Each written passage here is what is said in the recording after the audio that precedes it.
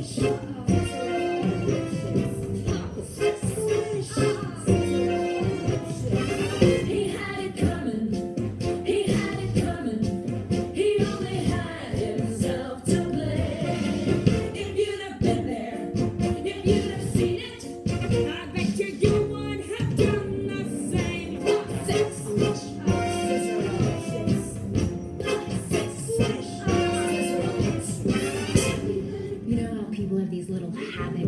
you down? Like Bernie. Bernie likes to chew gum. No, not chew.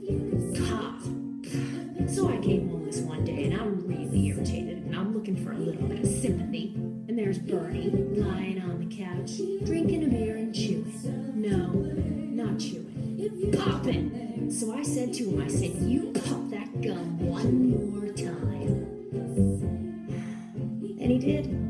So I took the shotgun off the wall and I fired two warning shots into his head.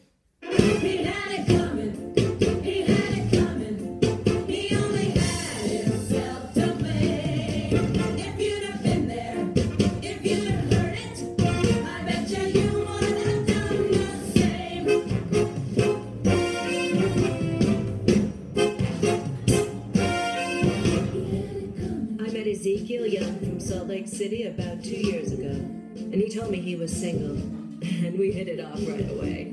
So we started living together.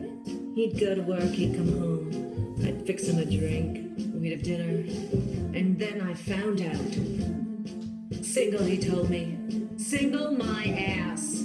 Not only was he married, oh no, he had six wives. One of those Mormons, you know. So that night when he came home from work, I fixed him his drink, as usual.